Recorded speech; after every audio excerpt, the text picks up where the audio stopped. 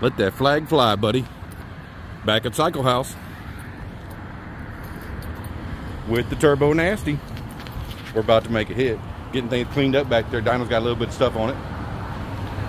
We're good to go though. To come. Okay, getting things set up over here, guys. Jerry's getting the dyno dialed in over here. We're actually going to make a horsepower pull this time.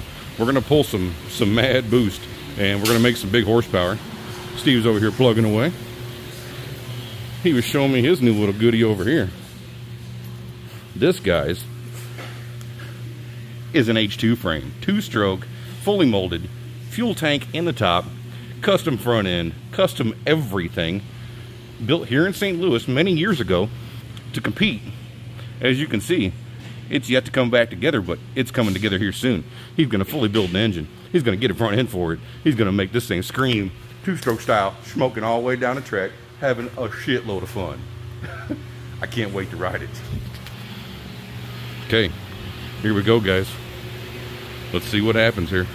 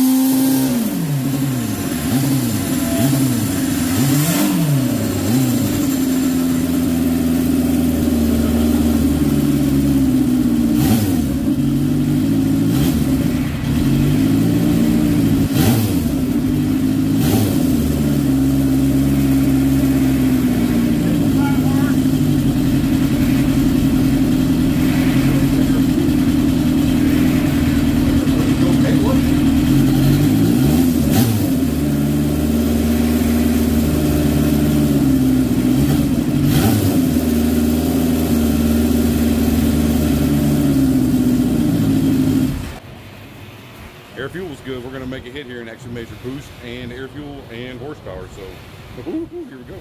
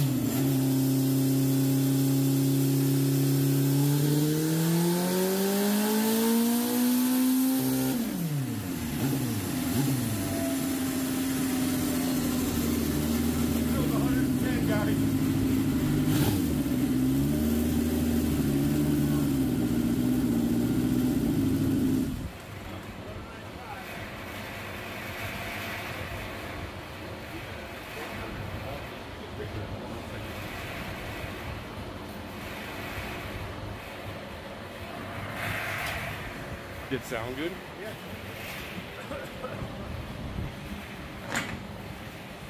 Take a look here, guys. Horsepower climb, torque curve is just about as good as it gets. Air fuel's looking pretty good with just a little bit of lacking pitot pressure and a little bit of power jet. Man, look at that, guys. Pick up, see what the air fuel is right there at the very top where it goes lean, right about 65.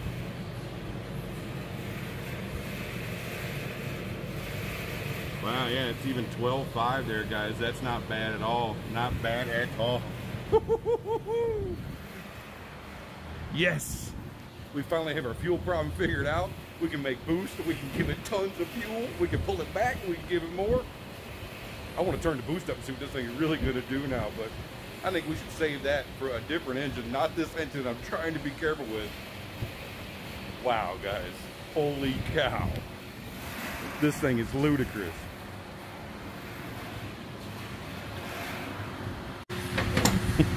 Look back here, guys.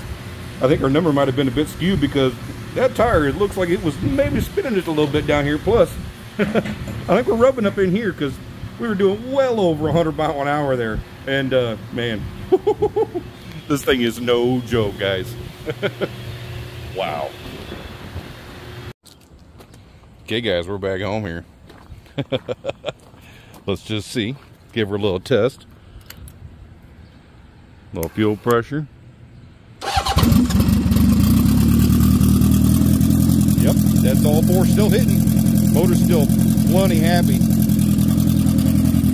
Of course, I rode it home too, man. When it comes on the boost now, it's it's wicked. It's official. Yep, turbo spinning. Good old pressure. Still got good vacuum. Yep.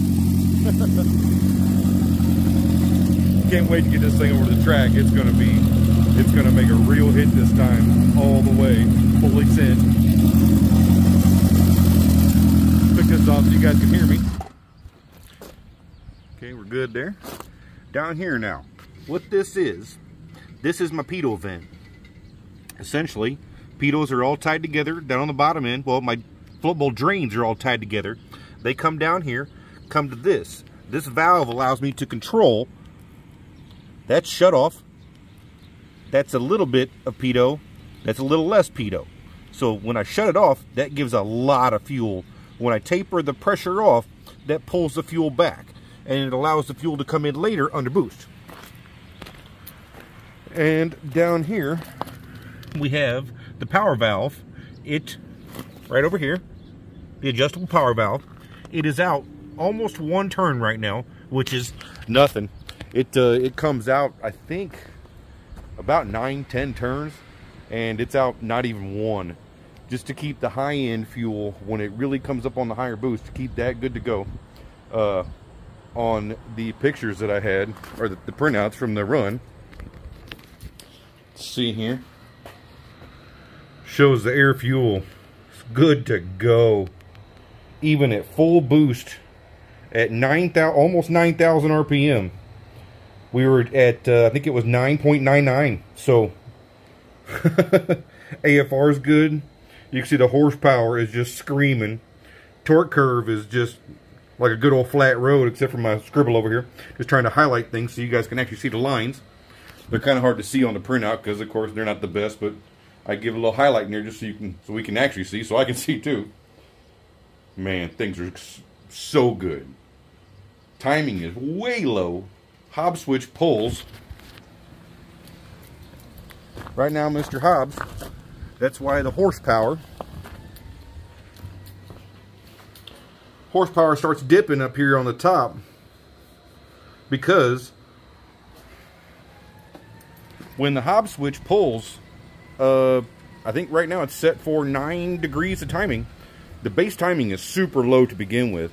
When the boost comes up to 5 pounds, Mr. Hobbs there pulls 5 degrees, or pulls 9 degrees, which pulls out the horsepower on the top, but that's totally okay because the horsepower numbers are excellent right now. I can put colder plugs in, I can add a little more fuel, I can put a little more timing. The horsepower is going to just keep going up. it won't dip off. Wow. Once again, so much more to come. Going to the moon, guys. We got us a rocket ship. yeah. Later on. Like, share, and subscribe. Thank you guys for watching. It's all working out.